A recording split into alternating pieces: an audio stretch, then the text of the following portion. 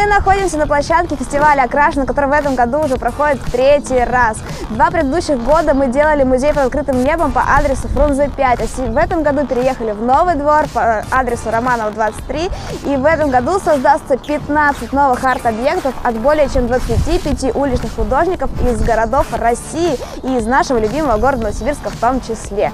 В отличие от других городов, фестиваль «Окрашено» совсем даже не коммерческий, и мы работаем за вот эту глобальную идею сделать наш город ярче, круче, э, сделать точку притяжения, куда могут приезжать э, ребята из других городов и просто увидеть все искусство города Новосибирска, сконцентрированное в одном месте.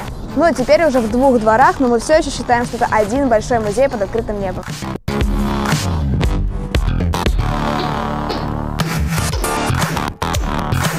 Вот сколько уже фестиваль идет, мы видим развитие уличных художников. То есть э, как будто бы вот э, пару лет назад еще было не так. То есть сейчас уже у многих есть вот свой выраженный стиль, как-то постоянно какие-то идут акции, мероприятия. То есть, э, в общем-то, эта среда, среда уличного искусства, она набирает обороты в Новосибирске, и за счет вот таких фестивалей это великий вклад, конечно. Потому что ну, мы поняли, что людям это нужно, людям это нравится, и надо это делать.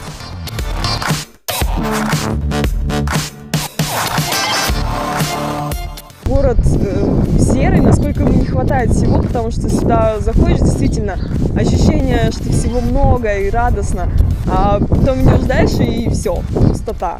Вот, поэтому нужно еще делать, конечно, кучу интервенций в другие районы, просто больше, больше стрит-арта. То есть я думаю, что должно быть, э, ну, как бы 2-3 э, таких окрашено в городе, чтобы э, вот эту потребность постоянного какого-то, ну, не знаю, культурного движника удовлетворить.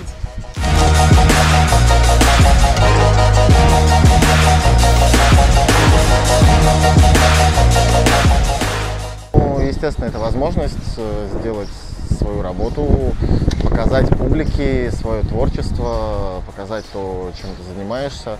А, но главная задача, мне кажется, которую решает фестиваль, это ознакомление горожан а, и людей с э, уличным искусством, с художниками, со стилями. То есть чем больше таких мероприятий проводится, тем хорошего мнения люди о художниках. Потому что, как правило, люди, которые рисуют на улицах, э, ассоциируются у многих с хулиганами. А когда люди приходят на фестиваль и видят, что дофига людей рисуют что-то классное, то люди начинают разбираться. Здорово, что есть возможность порисовать, прийти легально, когда тебе организовывают все, тебе не нужно ничего делать, просто приходишь и рисуешь.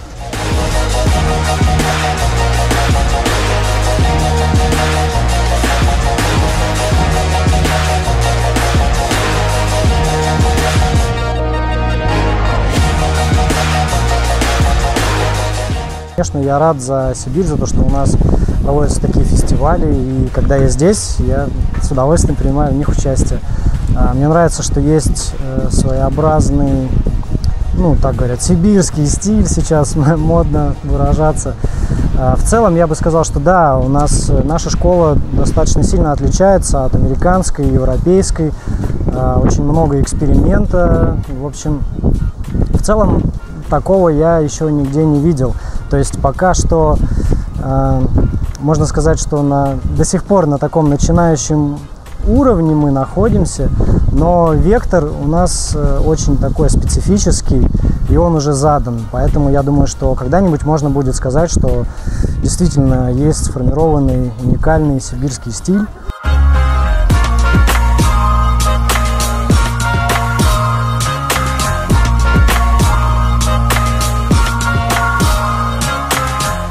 Сибирск мы приехали впервые, и довелась такая прекрасная возможность еще и порисовать, оставить свой след в этом городе.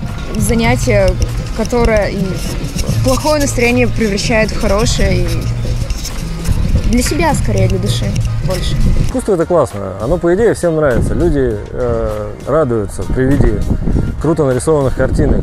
И э, я хотел бы, да, чтобы их становилось больше в городе, в мире, везде, повсюду. И чтобы люди как бы научились более радостно на это реагировать.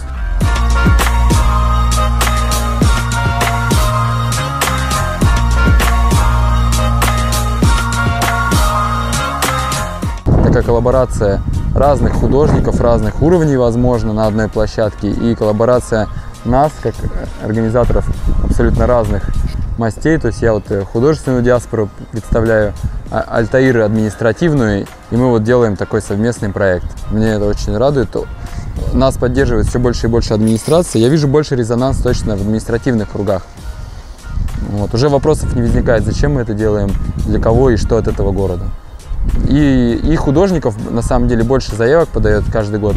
Первый год мне пришлось приглашать всех, потому что никто не знал, что это. Второй год это было где-то там 20 заявок, а в этом году уже больше 50 было. И причем со всей страны, то есть про нас узнают вообще в разных регионах. Ну и, конечно же, мы получили в этом году хорошее спонсорство от Краски Артон. Это тоже немаловажно, потому что делать это все своими усилиями сложно.